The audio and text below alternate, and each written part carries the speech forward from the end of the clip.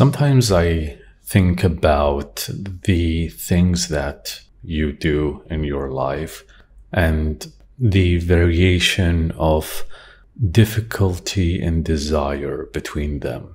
What I mean by that is you have several things that you like to do and you choose to do because they are things that you care about. They are things that you want to fulfill, practice, or get done. However, your capacity, your desire, and your and your willingness to do them is not equal. And the reason I see it that way, the reason I think that is the case, doesn't have to do exactly with how complicated they are. Rather, it has to do with how hesitant you are at doing them.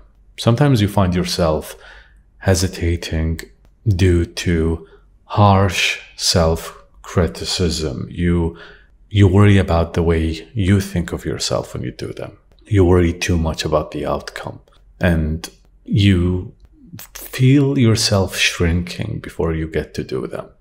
While on the other hand, different things that may not be less complicated or less difficult, you find yourself doing constantly. You do not stop them. You're maybe dedicated, maybe you're disciplined, or maybe they have been ingrained into your habitual um, behavior. They became habits.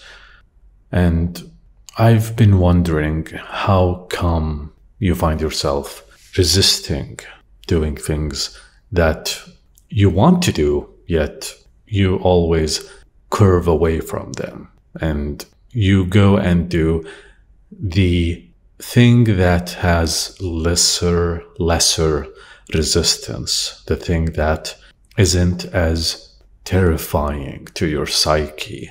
And the more I think about it, the more I realize that it's internal. The reason you struggle to do these things happens entirely in your head.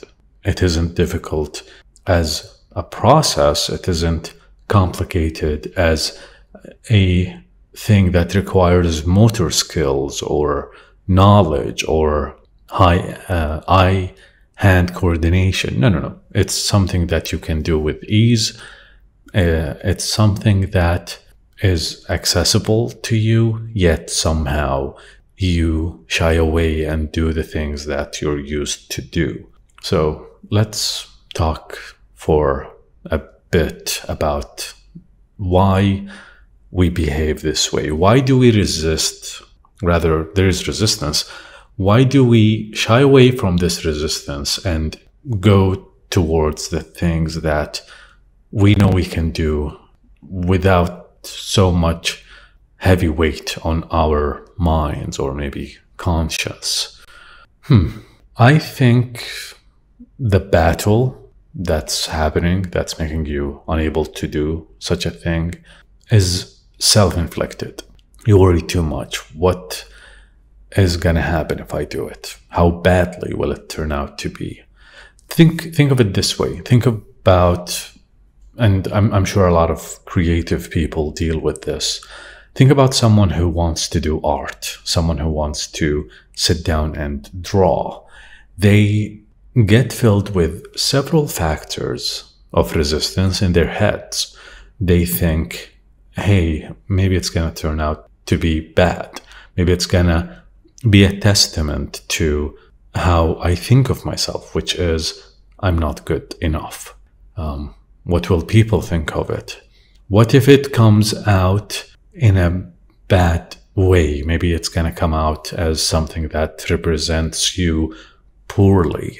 And those are legitimate concerns. You do worry about those things. You do think that if, if such a thing happens, then you're not in in a good place you go to a bad place and it's going to make you feel worse and then after that you're going to dislike yourself all the negative thoughts in your head will manifest into reality and you will see the poor execution that you know in your head will eventually happen become real and then it's confirmed and these negative thoughts are solidified.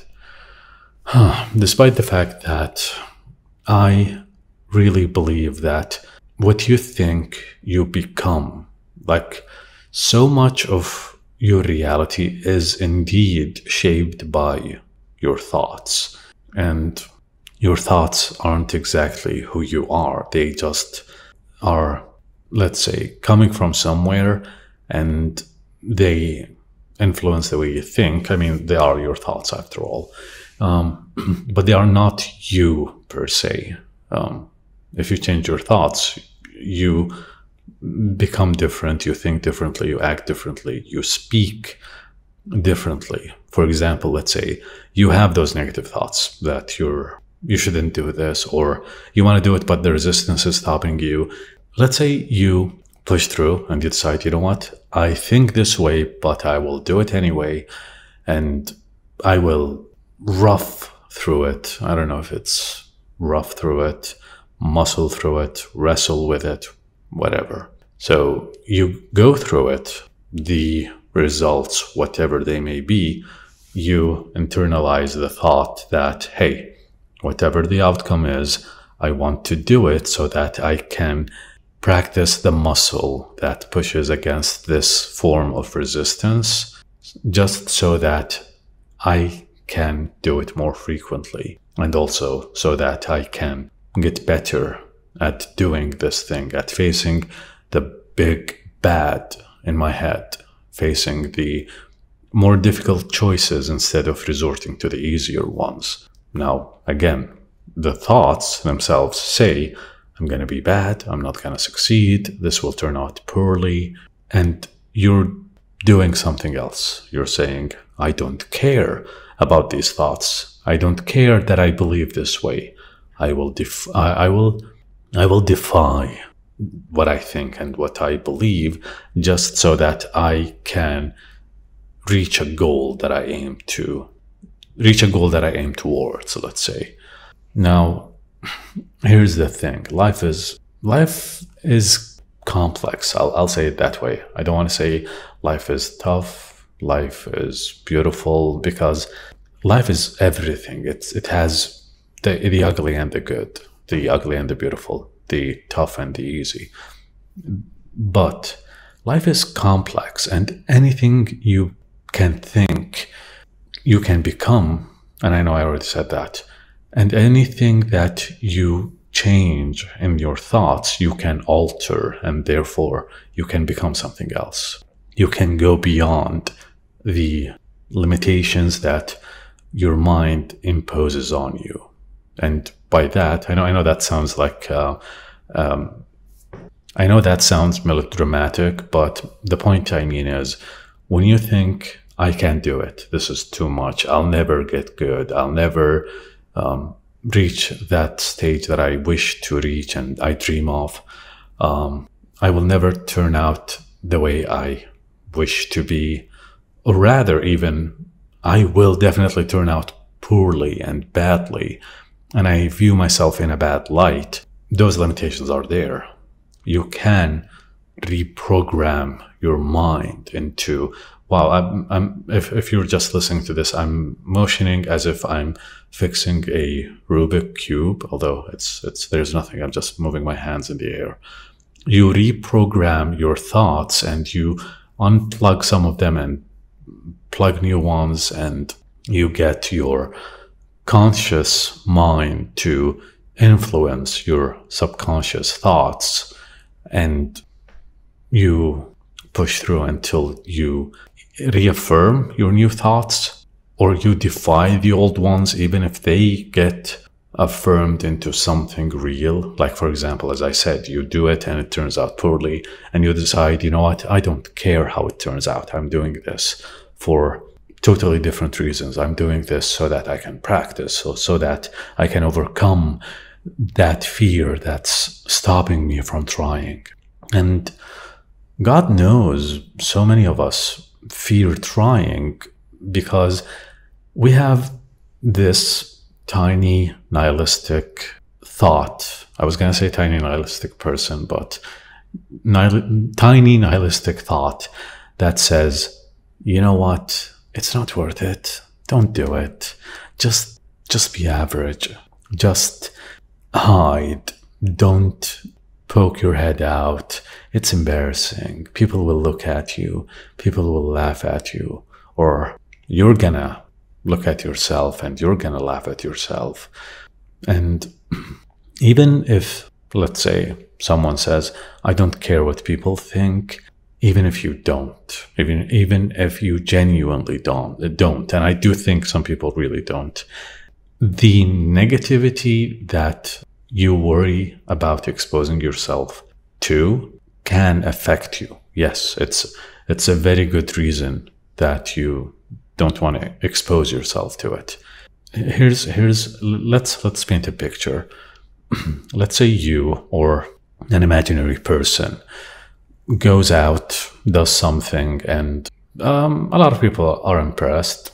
Way more people are indifferent, and just one stranger, one person who you will never meet again, who whom you will not care what they think, they go and say something negative to you or about you or about the thing that you do. Although usually people don't judge the actions, even if they actually do, but they criticize the person doing the actions. They will say, Hey, you're bad. You're, what the hell are you doing? And maybe they even antagonize you for being different or acting differently or acting weirdly. And, and let me do air quotes here acting weirdly according to them, even though we live at uh, we live in a time where it's really hard to do something that's labeled weird unless you live in a culture, a society that you know um, can view things outside of its norm as weird. Now, that person, that comment, even if you say, oh, I don't care what they think, it will linger there in the back of your head and you will convince yourself that you don't care but you will still care um, i can think of a, i can think of an example all right? I don't know if you relate to this but try to imagine it with me. Let's say you do something to your hair. You let it grow out for example. And this is something new to you. Again imagine. I'm not saying this is real. Let's say you're you're used to a certain hairstyle and you do something different to it. Uh, in the example you let it grow and someone just approaches you or meets you or you know just throws a comment saying oh my god long hair looks bad on you. You look so much better with short hair. You look way older with long hair or that. They just toss this opinion they have of the way your hair looks. And they toss it as if they have every right to tell you that, hey, you know what? I don't like the way you look, change it. But obviously, they don't say change it, they just tell you that. And, and sometimes maybe they think they're doing you a service by pointing that out. Hey, you don't look so good, change that. Now, even if you were convinced that you like the way your hair looks now, that thought is there now you're going to be wondering, maybe even 1%, 2%. Hey, maybe, maybe my hair does look bad. Maybe I do look better the way I used to have my hair uh, done. And even if you manage to ignore that and you forget about it, and I, I still think the thought will remain in, the back of your head. You tell me if you think so or not.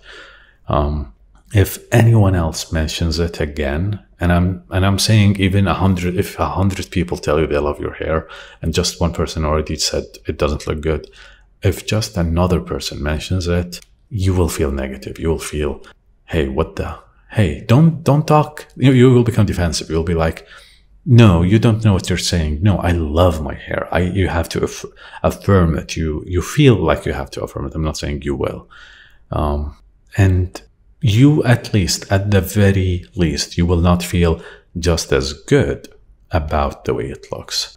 Now, I know I drifted off topic for a bit here, but the point is when you find resistance to do something you wish to do more, uh, you wish to do more consistently, let's say, that resistance really, uh, it's hindering, I know, but that resistance really needs you to focus on pushing through more than you trying to figure out why the hell you don't do it, which probably it's the same thing, but I, I want to uh, I want to give it this narrative. Just thinking, I, I think that this narrative will help deliver the point. Um, instead of wondering why you're not doing it and you start feeling negative about it, you start seeing it that in, in this light.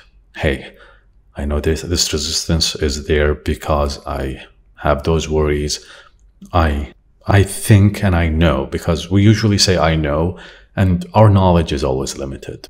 Um, even people in science, scientists, when they say they know, they say the evidence suggests. They they never know. We never know. There's always change in, in our knowledge, um, in our database, let's say. So you say, I know that if I do this, it's going to turn badly and I'm not going to like it and I'm not, I'm not going to feel good about myself. So change that narrative, or rather, redefine the narrative into, you know what? I want to push through. I want to do this more often.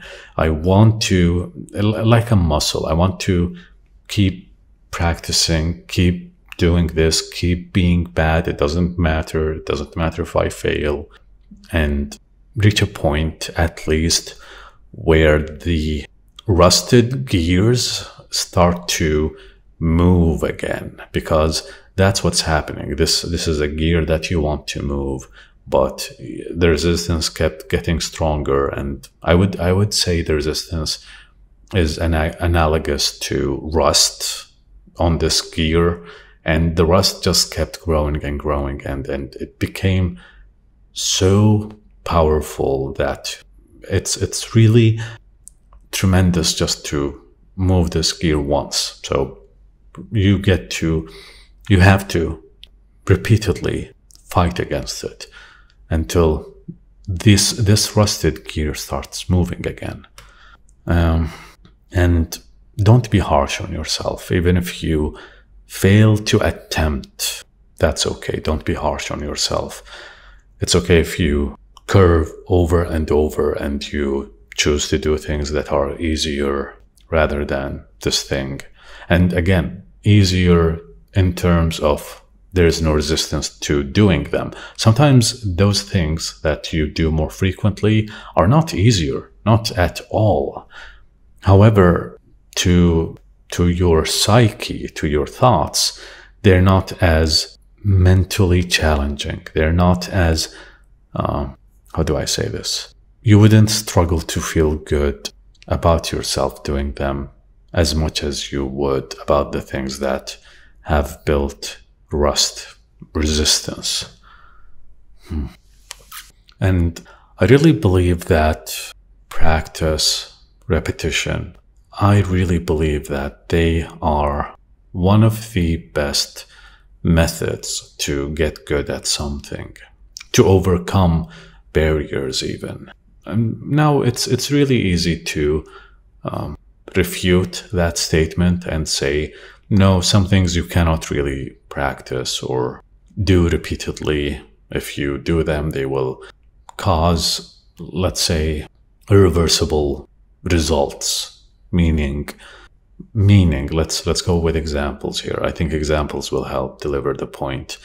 Um, let's say you want to do extreme sports and um, you cannot practice them on the extreme level um, because there's a high chance that you will hurt yourself or there's a high chance that you will not get the uh, get to the point where you'll be able to get better. Now maybe extreme sports is a bad example um, but th- the point is for things that I would I would call them um, for things that are harmless. Let's say things that will not hurt you, things that will not hurt anyone else, and they will not cause any damage. You want to practice a hobby. You want to do something creative. You want to write a book, whatever it may be. Doing those things, it's really the best way to practice. And also, the idea behind practice, although the main idea is you improving and getting better, another idea behind practice is you allow yourself to fail, you allow yourself to do poorly, you allow yourself the chance to try and see where your errors are, where your flaws are, and let's say you're allowed to critique yourself. However, critique is dangerous. I'm not saying it's bad. It, critique is necessary, but it's also dangerous. Here's why, and I probably mentioned why, but let's let's just make sure it's clear why critique can be dangerous. Critique can hurt you so much that you stop. Um, for example, let's say you set the mo- you set the motive that you want to do it to practice. You know you will do poorly. You know you will probably fail many times, but critique can hurt your the way you feel about yourself, the way you feel about what you're doing. You, you, you might feel that, hey, you're wasting your time. You're bad at this. You're terrible. This is a mistake. Maybe this isn't for you. And that's, that's a whole other topic, but let's not go there now. And critique just tells you that, hey, you're just running in circles here. You're not going to get anywhere. Just quit. This is maybe this isn't for you. Um, and you then quit because the overburdening negativity of feeling that stops you completely. But here's some, I would say, healing light that I think you should shed on this thing, um, attempting to practice and allowing yourself to fail. It's okay. Fail, try, enjoy the process. I think many of us start something, um, especially with creative things, um, start it with love, with enjoyment in mind. Enjoyment. We started with enjoyment in mind, and somewhere along the way, we hit the Dunning Kruger curve where we go up and we're like, wow, we're great. This is fun. I'm enjoying myself. And then you learn more and then you plummet down and you are in the, is it called the valley of despair? Where you realize just how bad you are. You realize how much of a beginner you are. And you realize that, hey, I'm terrible. How how was I feeling good about all the things that I used to make, all the things that I used to do? And that valley of despair takes a while. Like, man, you can't stay there for a long time until you start to rise back up and, and slowly you're humbled, obviously. Slowly realize that, hey, this is a grind. This is something that I have to get good at and I have to practice and I have to learn and I have to get better. It's it's a long process and those things are good. You need to practice, you need to learn, you need to be humble.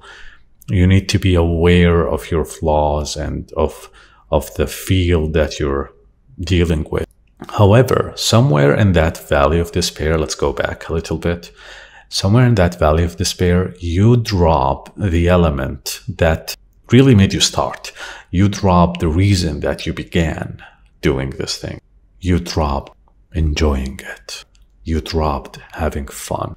It stopped being spontaneous and uh, lighthearted and fun and something that you, with a childlike spirit, get to do.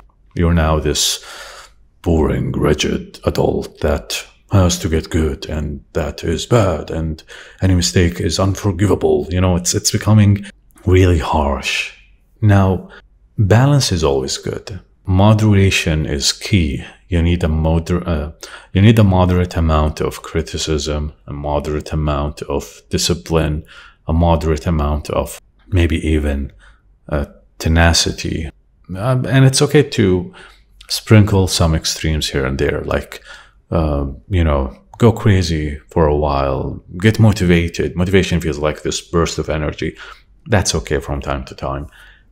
But don't get overconsumed by criticism that you stop. It hurts you too much.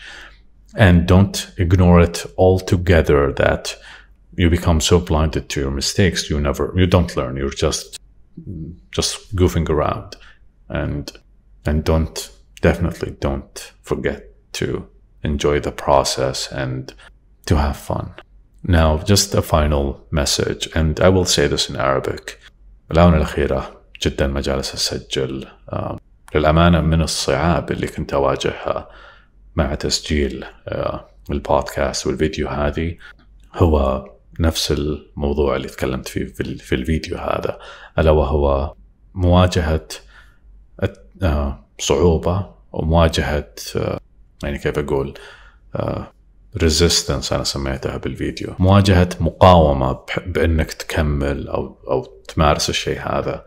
وأعترف والكلام هذا اوريدي قلته هنا أعترف أن كمية انتقاد الذات اللي واجهتها مع نفسي كانت جدا عالية لدرجة أني خلاص قلت أو ما قلت أكون يعني أكون صريح مع نفسي. تجنبت أني أجلس وأسجل. أشغلت نفسي بأمور أخرى مهمة وتهمني ولها قيمة ومفيدة وصحية وكل ذلك. ولكن كل ما جيت أبي أسوي هذا الشيء الأصعب ألاقي نفسي أميل لل... للي فيهم مقاومة أقل من شيء مثل البودكاست أو مثل التسجيل هنا. ولكن الإنسان يحاول ويسعى ويتقبل مواجهات إنسانيته يعني كلنا نواجه هذه المشاكل كلنا نسعى ونتعب ونشعر بالخذلان والفشل و... وأحيانا أفكارنا السلبية هي اللي تطغى علينا وتخلينا نتجنب حتى أننا نواجهها. ولكن يعني تذكر أن هذه الأشياء هذه الأمور كلنا نستمر فيها وهي شيء طبيعي جدا هو وهي جزء من من وهي جزء من مراحل تطورك في الحياة وتحسنك في الحياة. حتى على سبيل المثال في تسجيلي لهذا الفيديو بيني وبين نفسي شفت أن مهم أكثر أني أسجله وأصنع هذا المحتوى مهم أكثر من أني أسلك لنفسي وأقول لا خلاص مو لازم. بالمواجهة بين هذه الأفكار السلبية اللي تقول لي مو لازم عادي. تقدر تعوض بأشياء أخرى تقدر تسوي أشياء أخرى مع أن داخلي ودي أسوي شيء هذا.